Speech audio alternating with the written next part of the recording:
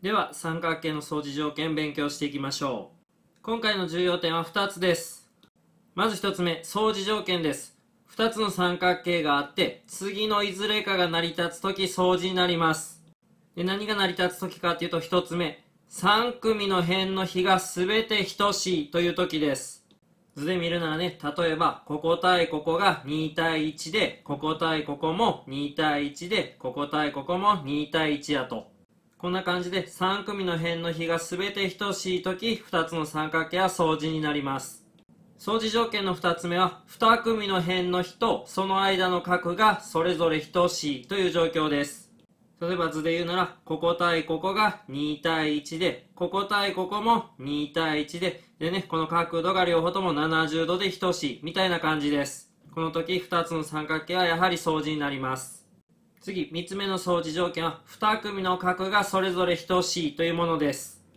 図で見るならね、例えば、こことここが70度で等しいよと。で、こことここが30度で等しいよと。そのような状況です。このね、3つの相似条件っていうのは、今後ね、証明とかでもいっぱい使っていくんでね、確実に押さえておきましょう。で、2つ目の重要点は、すでに習ってるね、三角形の合同条件とね、似てるんですが、しっかり区別しておきましょう。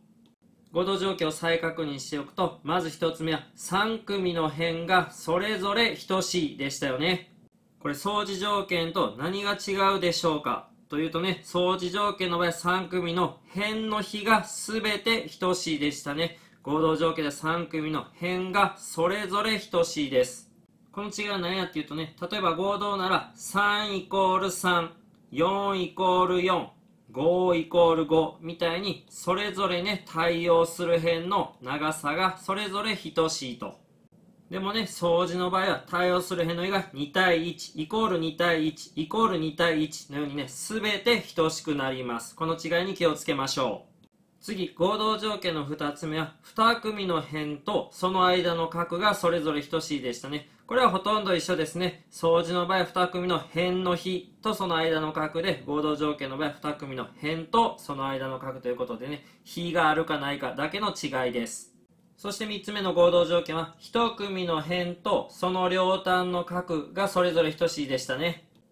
このね、両端の角っていうのが、例えばこことここみたいにね、2つの角を表してたんですね。合同条件ではそれに加えて辺が等しいっていうのを言える必要がありましたが、相似では角度が2つ等しければ OK です。辺は関係ないです。というのもね、合同っていうのはこの漢字にも表れている通り、合わせて同じということは、形だけじゃなくて大きさもね、全部等しい必要があります。でも相似っていうのは形だけ同じやったらいいんですね。大きさは関係ないと。この図形を伸び縮みさせたもの。それが相似なんですね。で角度が2つ決まれば残りの1つの角度も自動的に決まりますよねだから2つの角度が分かってたら残りの1つの角度も決まってその結果ね形は同じであると大きさは違うかもしれないけど形は同じだから確実に相似が言えるよということですここまで分かっておけばね今回の問題も楽勝ですよね三角形の相似条件を3つ答えようと1つは3組の辺の比が全て等しいですそしてもう一つは2組の辺の比とその間の角がそれぞれ等しいです。そして3つ目は2組の角がそれぞれ等しいです。ということで三角形の相似条件 OK でしょうか今回の重要点2つしっかり理解して自分でもノーヒントで解けるように練習しておきましょう。